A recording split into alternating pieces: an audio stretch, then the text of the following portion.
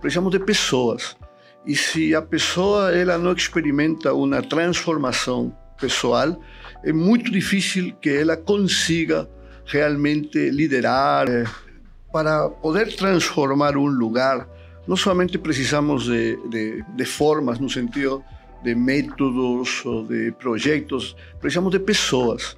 E se a pessoa ela não experimenta uma transformação pessoal, é muito difícil que ela consiga realmente liderar ou, ou trabalhar dentro de um processo de transformação.